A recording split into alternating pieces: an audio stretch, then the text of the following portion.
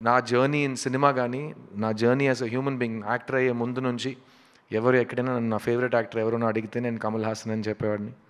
And uh, Suresh Babu గారికి బాగా తెలుసు. నేను ఫస్ట్ సినిమా చేసినప్పటి నుంచి ఆయన దగ్గర ఇంద్రుడు చంద్రుడు గురించి చెప్పండి షూటింగ్లో ఏం జరిగింది రామనాయుడు గారు ఏం చెప్పారు కమల్ గారికి ఆయనకి ఇంటరాక్షన్ ఎలా ఉంటుంది వాళ్ళు ఆయన రెండు రోల్ ఎలా చేశారు డబ్బింగ్ ఎలా చేశారు ఇదంతా నేను uh, ఒక ట్వంటీ ఇయర్స్ బ్యాక్ నుంచి నేను డేటా కలెక్ట్ చేస్తున్నాను. ఎందుకంటే నా లైఫ్లో నా అంబిషన్ అని చెప్పను నా డ్రీమ్ అనేది ఒక మంచి స్టూడెంట్గా లైఫ్ లాంగ్ కెరియర్ లాంగ్ పనిచేయాలని. ఇలాంటి ఒక వేదిక మీద ఇరవై సంవత్సరాల ముందు జయసుధ గారు సహజ నటి జయసుధ గారు నాతో యాక్ట్ చేసిన తర్వాత ఈ కుర్రోడ్ని చూస్తుంటే నాకు చిన్నప్పుడు కమల్ని చూసినట్టు ఉందన్నారు. నా లైఫ్లో నేను మర్చిపోలేని ఒక రోజు అది. నేను బాగా ఏడ్చాను ఇంటికి వెళ్ళి ఏంటి నన్ను కమలాసన్ గారితో పోల్చారా జయసుధ గారని?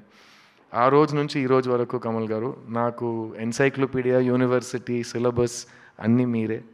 అండ్ ఏ ఈ రోజు వచ్చింది నేను మీతో ఒక సినిమాలో స్క్రీన్ స్పేస్ షేర్ చేశాను.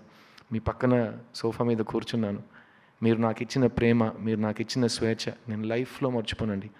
Because you have allowed me to be the best version of myself so I can show you your student in his best version. So thank you Kamal sir thank you for existing. Thank you for inspiring all of us every day. And ఇలాంటి ఒక అవకాశం నాకు ఈ ఇలాంటి ఇంత పెద్ద అవకాశం ఇంత ఇంపార్టెంట్ స్టేజ్ నా లైఫ్లో రెండోసారి నాకు వస్తుందండి.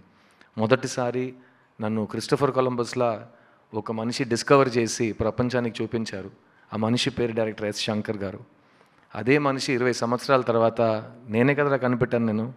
నువ్వు రా మళ్ళీ నా సినిమాలో యాక్ట్ చేయని నన్ను మళ్ళీ పిలిచారు. కానీ ఈసారి నీ పక్కన ఎవరు చూడలేని అంత ఒక సూపర్ నోవా ఉంటుంది ఆ సూపర్ నోవా కమల్ హాసన్ అని నాకు ఈ సినిమాలో అవకాశం ఇచ్చారు.